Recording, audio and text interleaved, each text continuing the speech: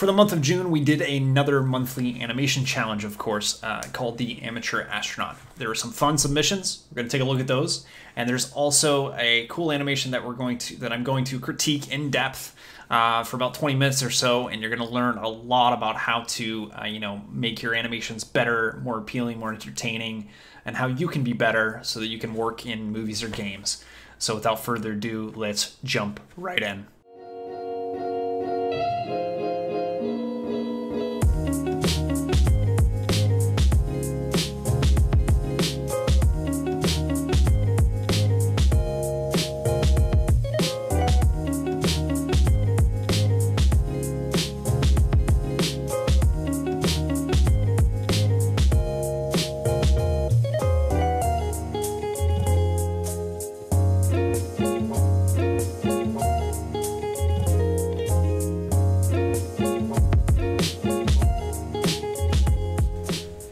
Right, I randomly picked uh, Jeremy's animation here of the amateur astronaut. Let's let's take a look again uh, one more time at the animation.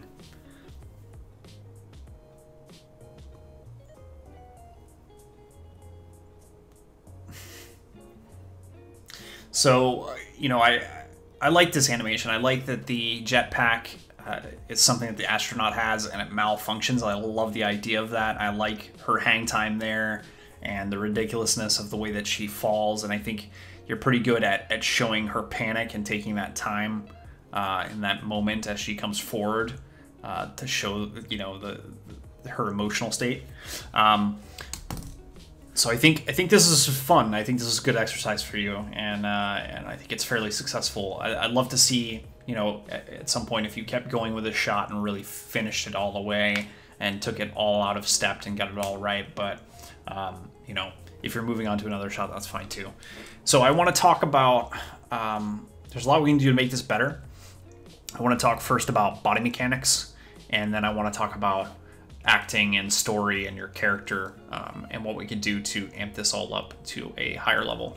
So here in the beginning, I just want to talk about this section first. So when she comes in, she feels pretty floaty to me. And a lot of that has to do with spacing. If we go to that bouncing ball, um, right now, you have more of this like even spacing. You know, it's like every distance is even uh, for each key of that hip coming down, like all through there. It feels very floaty because of that. So a bouncing ball, you know, would have that tighter spacing, obviously. So you'd have these closer together, and then they start to spread a bit and pick up. It gives that feeling of picking up speed on the way down, right? And then you got a couple frames here. Um, the other thing you remember about the bouncing ball is that if you're coming down for that that impact, you don't spend a ton of time there. You bounce right back up usually, unless most of the energy is gone, or unless you're so heavy that you're just like stuck down here right? But you have her come back up. It just seems like it takes a while for that hip to leave that ground. So a combination of those things makes it feel floaty. The other part of this that's strange is her spine, her whole body is very stiff. So it holds that shape through here without changing. And you want to introduce more flexibility than that. So seems like this is her high point, so maybe the spine is like like this here, and then as it comes down, you'd want to drag back. And then sometime after the hips have landed, the spine would curl back in. You know, you're gonna fix that spacing of that ball bounce there, those hips. Right, so I'm changing the drawing here.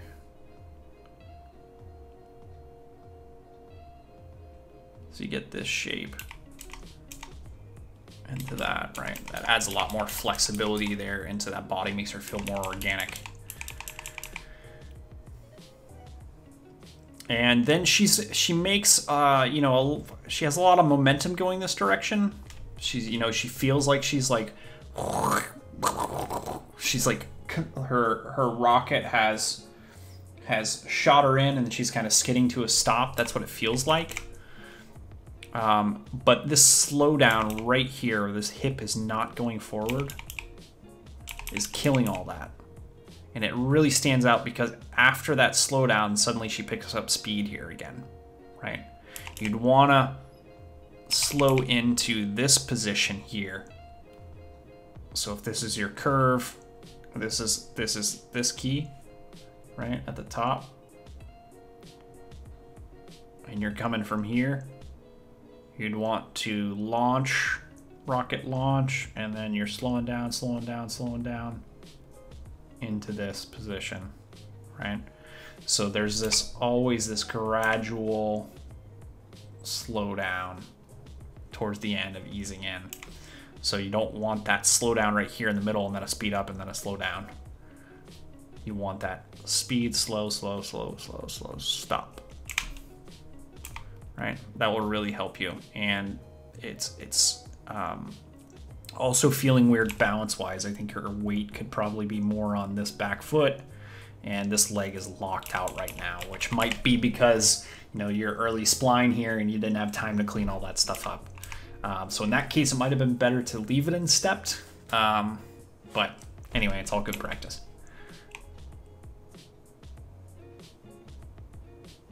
And then as far as this step back goes, she's out of balance because she's very centered on both legs.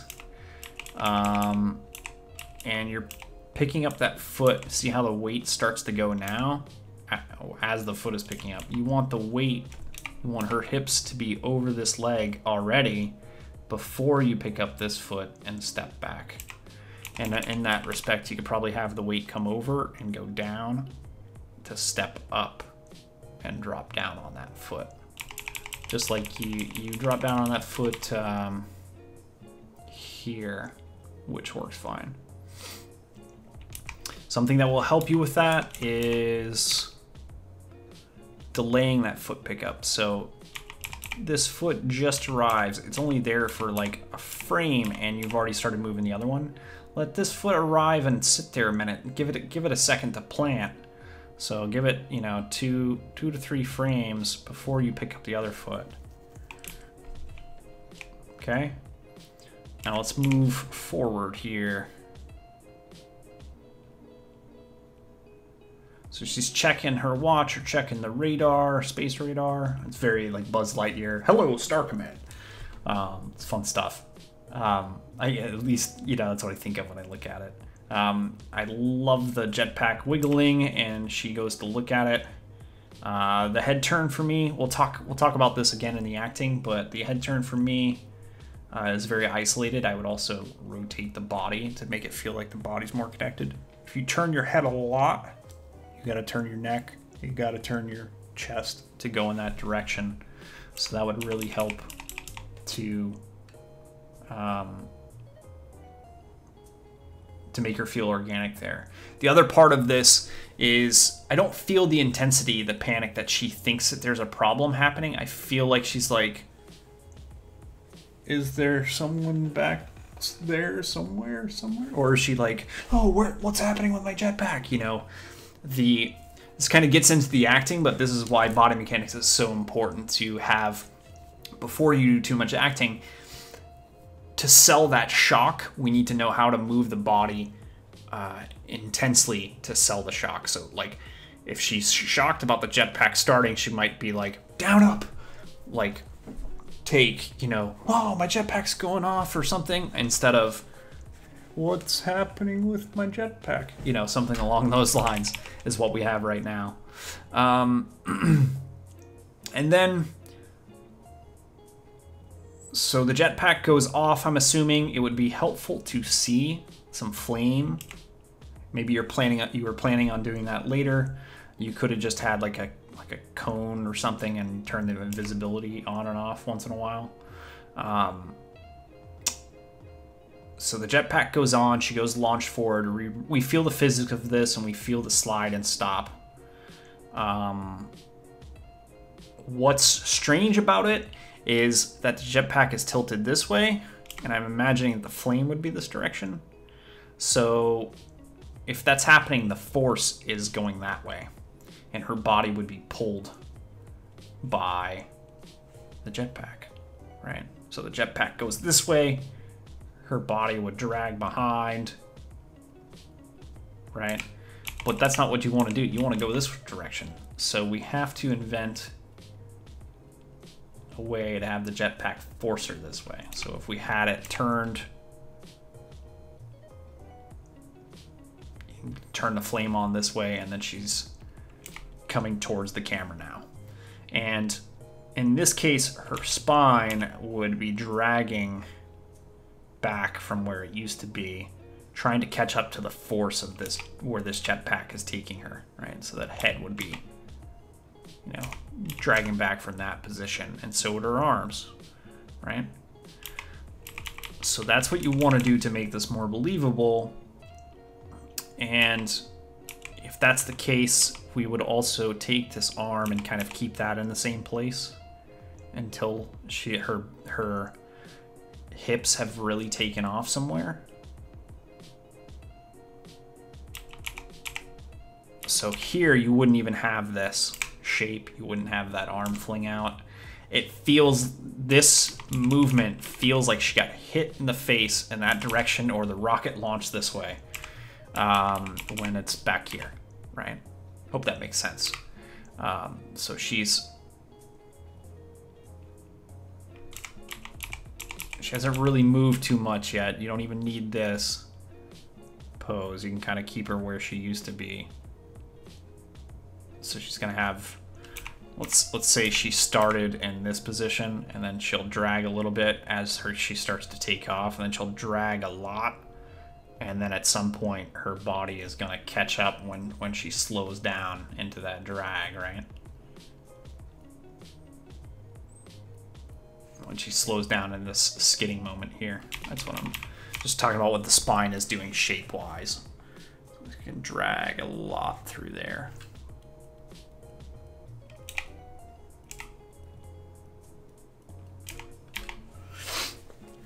Cool. Hope that makes sense. It's this. Uh, there's a lot of insights there on how to take the the physics of and, and force of things and how to apply it to the body so that it feels real. Uh, definitely want the hands also to be broken up from the body movement. You probably want the spine to go first, and then the hands will drag behind that. And right now, they all go moving at the same time. Okay.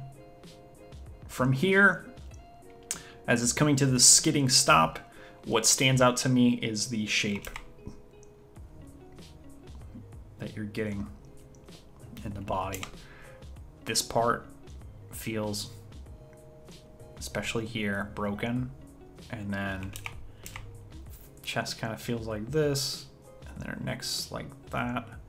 You want to clean shapes up like like that, and uh, one way to do it is you're probably going to solve it just by doing what I talked about here with the spine. Um, because what you'll do is you'll take this and then you'll just create some kind of simple C shape. Dragging that that head behind, right? So that you can go right into this. And I you're, you're doing the right thing here. It's great to see the face. It's great to see the jetpack. It'd be just uh, nice to see a little bit more of the side of the character here. Minor. Um, and then this action needs to be broken up a little bit more. So again, we're moving the hands with the body, the spine's coming up, right? You're going from this to that, and the hands are, let me use a different color for them.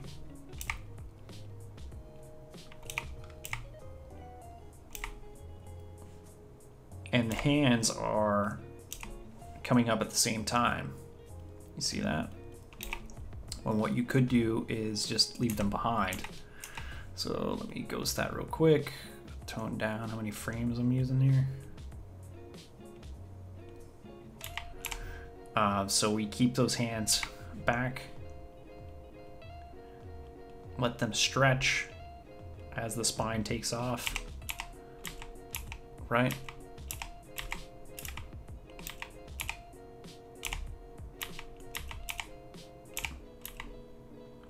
And then somewhere around here, you know, you can start to do what you're already doing. And then you might want to have one that's,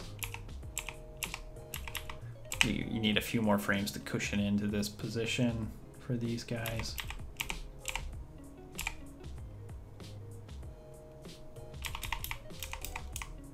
Let those hands come down.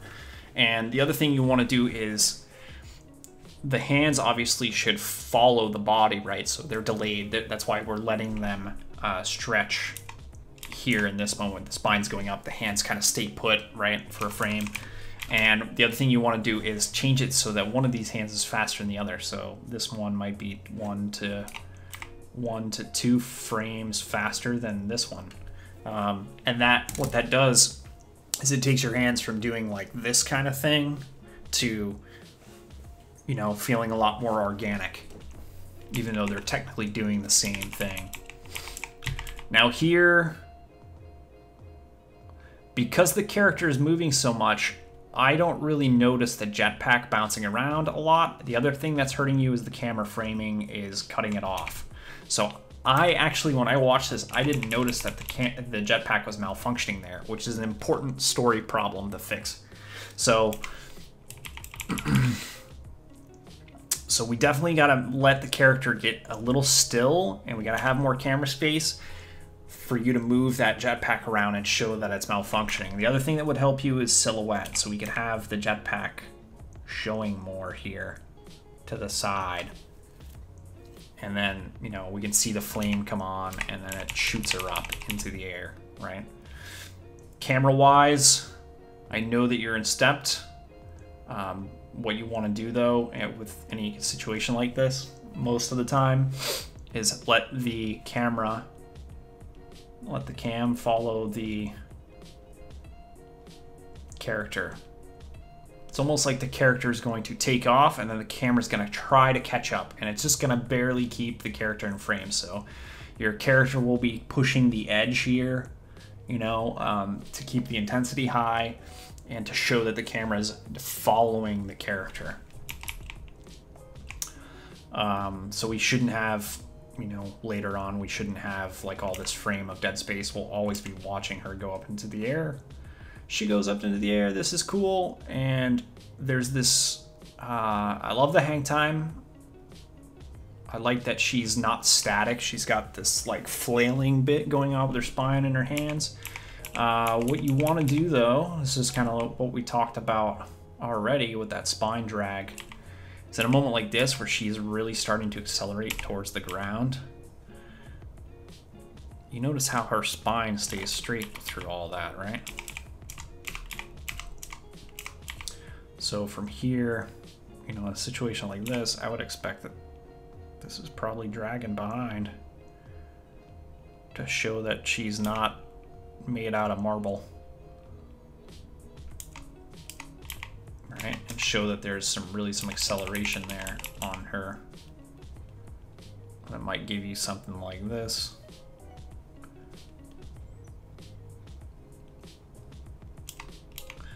And again with the camera, we got to stay with the character just enough. We want to keep her in frame so that we can see that impact. And right now we completely miss the hit.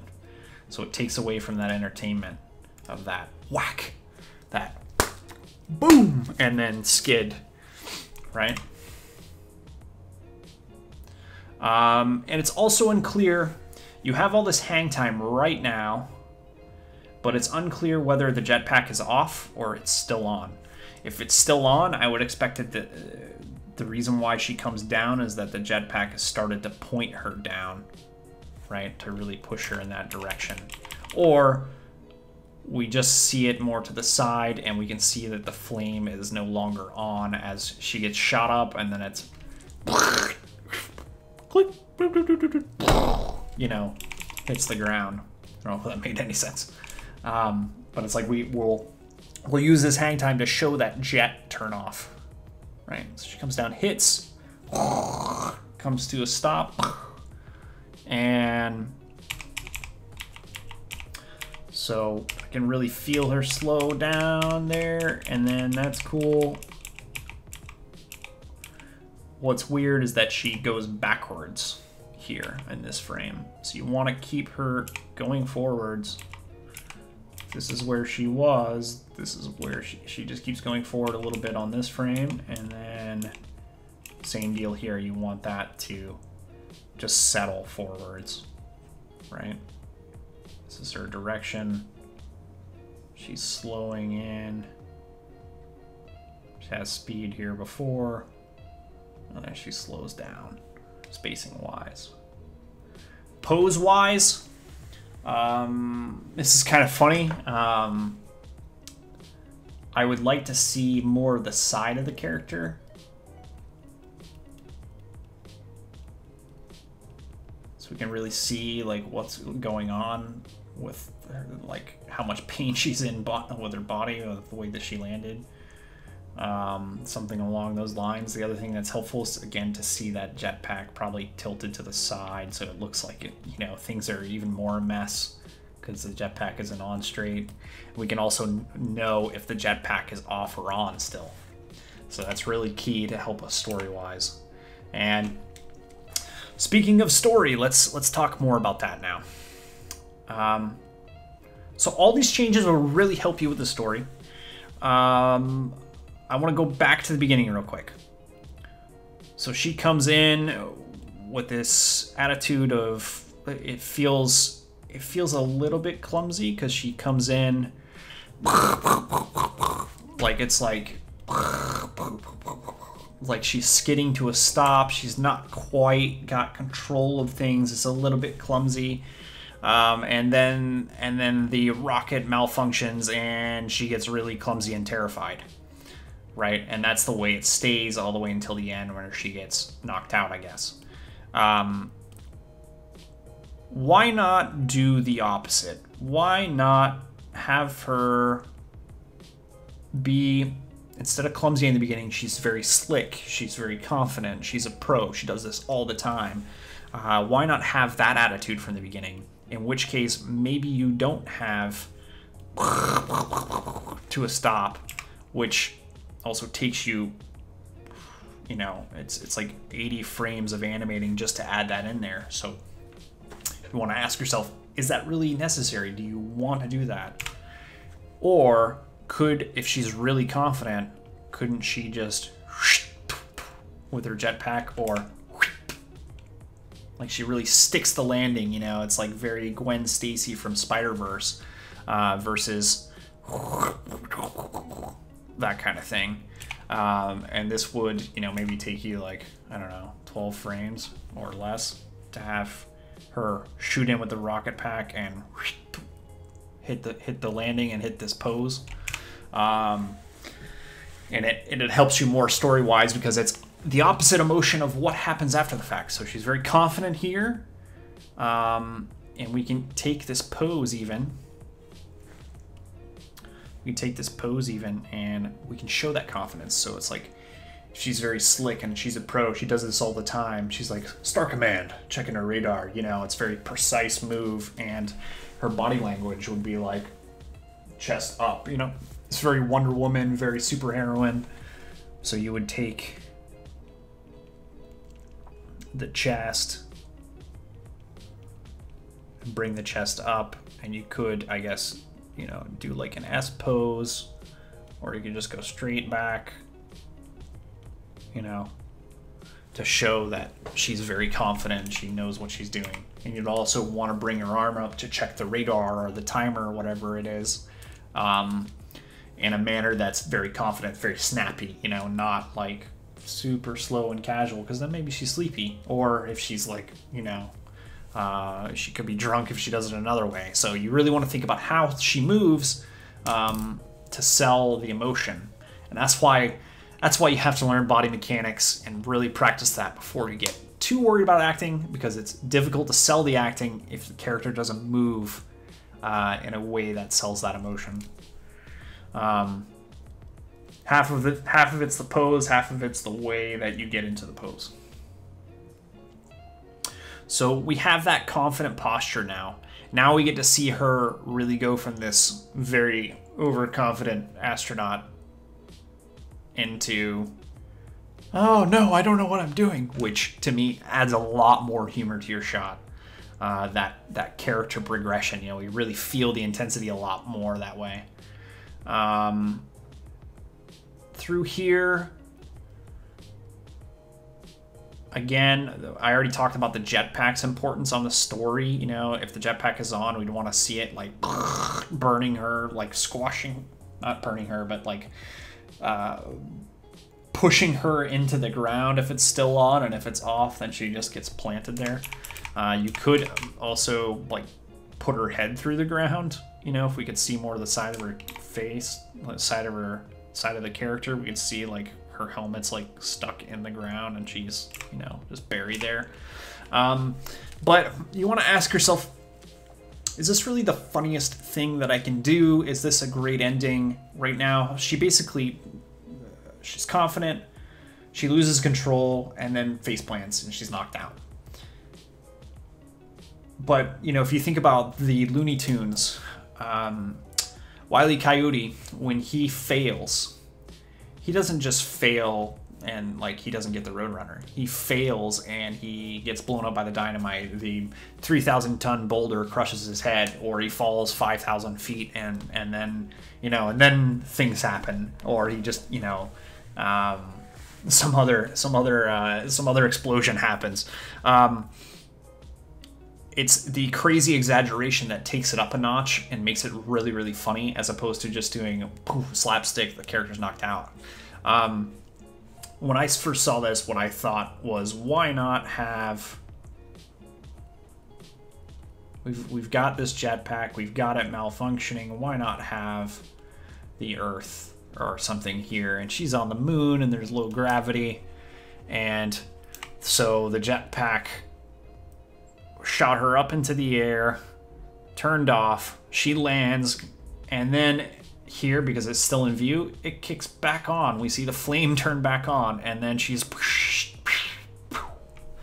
Um, so basically, it turns back on, and then it can launch her back into outer space because the gravity's low on the moon, and she can be headed towards Earth, and you can have the Wily Coyote thing where it's like you know, and she turns into like a little speck because she's going so far away. And you can have all kinds of fun, you know, with like how the jetpack turns back on and then launches her in this direction, right? Um, so it could just be like, uh, it could be, so it's like side to side and then launch into the air, or it could be like, and then shoots her up uh, into the air. Uh, you could also have like a spinning and then launches high into the air and you can get her like facing back towards camera. No.